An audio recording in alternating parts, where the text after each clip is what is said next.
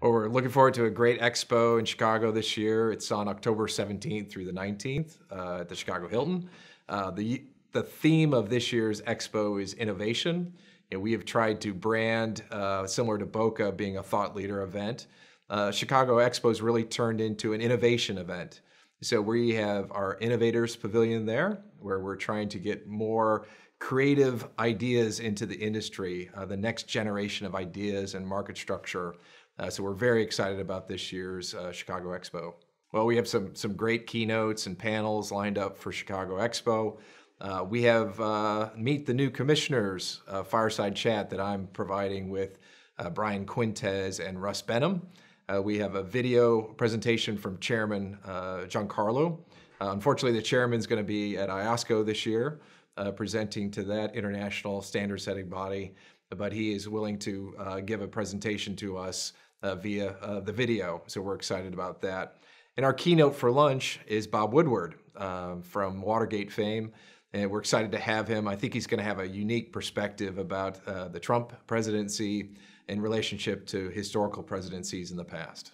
We're excited to have Craig Phillips from the U.S. Department of Treasury speaking. Um, so Craig has taken on the role of really financial regulatory czar for the Trump administration. So he uh, is taken on the president's executive order that is trying to look to simplify and reform the regulatory structure post Dodd Frank.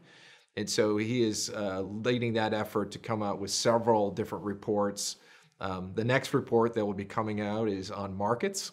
Um, so it'll be very timely to have Craig giving a presentation on Thursday morning at Expo on that, that topic.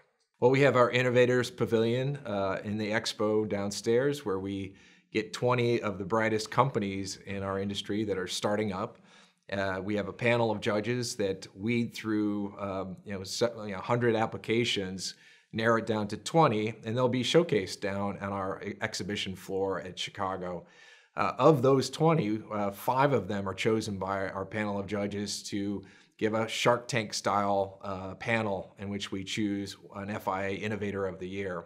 So I think it's going to be exciting. There are a lot of interesting ideas presented this year, and we're looking forward to that presentation. So Money.net was uh, the Innovator of the Year last year. Um, they were able to bring uh, similar to Bloomberg screens and other things, you know, information at a very cost-effective way to uh, market participants.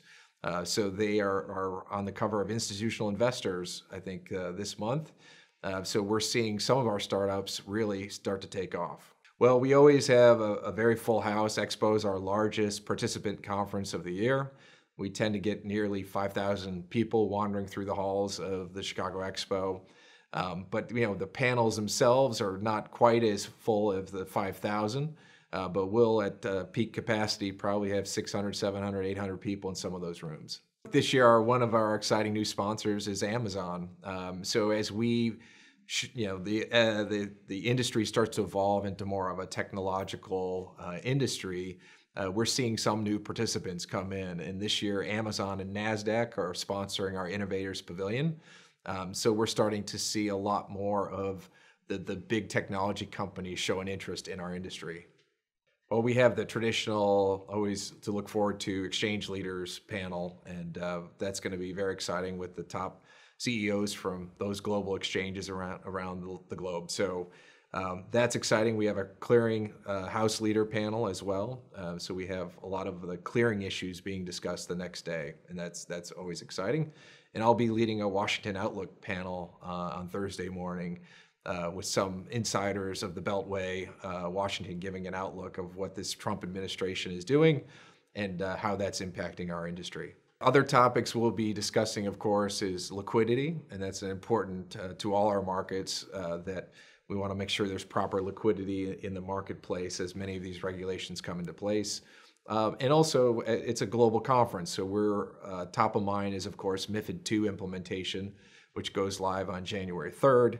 We want to make sure that uh, not only European firms are ready and in compliance uh, when that date hits, but also U.S. firms have certain obligations. So we'll be doing several uh, panels on that topic and workshops on the side. Another issue, initiative I want to talk about too is we'll be doing some training sessions uh, in conjunction with the program. Uh, FIA is launching uh, a training initiative on getting into compliance with certain rules to make sure market participants are in compliance with certain regulations. So we'll be launching several modules of our training initiative around Expo time. Um, we're very excited about it, but there will be some in-person live uh, training sessions uh, complementing our Expo program as well.